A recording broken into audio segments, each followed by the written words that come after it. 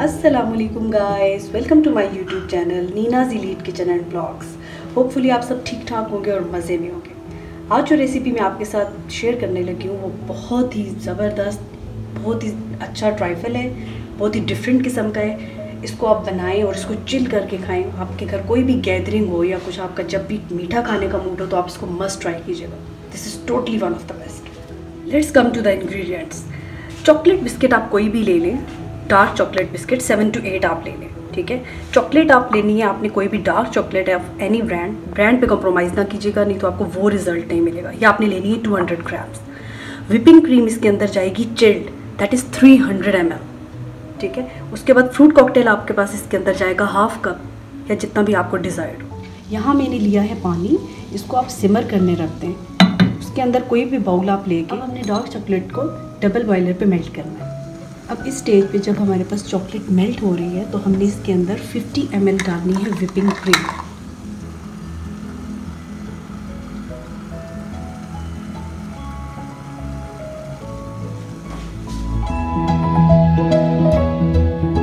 Shine आ गई है। जब इसके अंदर शाइन आ जाए तो it means it is ready okay chocolate को मैंने रूम टेम्परेचर पर छोड़ दिया था 15 टू 20 मिनट्स के लिए, ठीक है? अब ये रूम टेम्परेचर पर आ गई है। नेक्स्ट स्टेप हमने ये लेना है we have to keep it aside whipping cream जो मैंने 300 हंड्रेड ली थी, उसमें से 50 एम तो हमने बॉयलर पे डाल दी थी चॉकलेट में ऐड कर दी थी राइट अब जो रिमेनिंग 250 फिफ्टी है, इसको अब हमने ऐड करना है।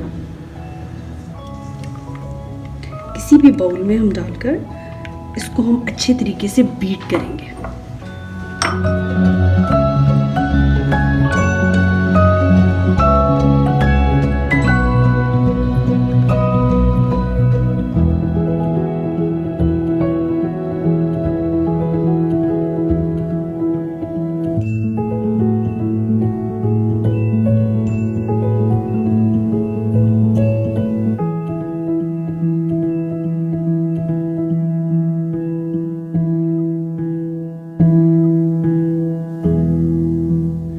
इसको मैंने थ्री टू फोर मिनट्स के लिए विपिंग क्रीम को अच्छी तरीके से बीट कर लिया था।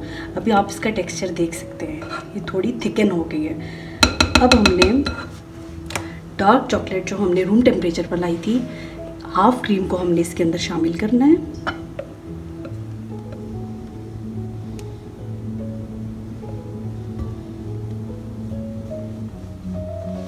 और इसको भी अब हमने टू टू थ्री मिनट्स के लिए बीटर के साथ बीट करना है।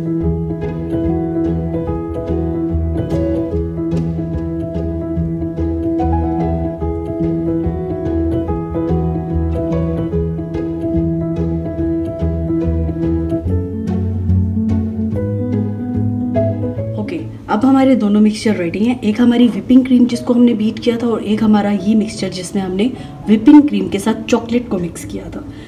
दोनों चीज़ें हमारे पास बीटेड फॉर्म में मौजूद है। अब हमने लेना है एक पाइपिंग बैग और पाइपिंग बैग में मैंने डालना है जो मेरे पास ये मिक्सचर है।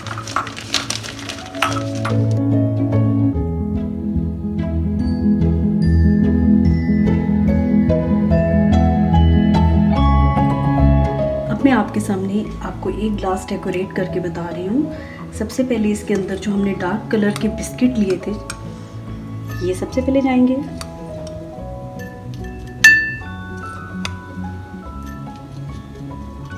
अगर आप इनको इससे भी ज़्यादा क्रश करना चाहते हैं तो it is up to you उसके बाद इसके अंदर जाएगी हमारे पास क्रीम जो चॉकलेट और क्रीम का मिक्सचर था।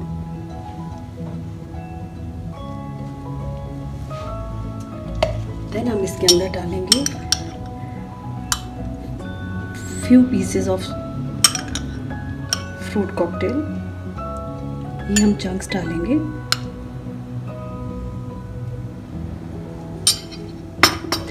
देन हम इसके अंदर डालेंगे whipping cream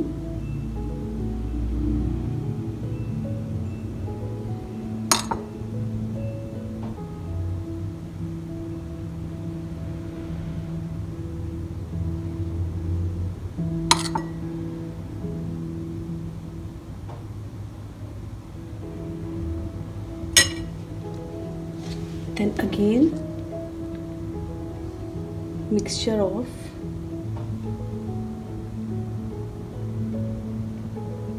chocolate and whipping cream. And then at the end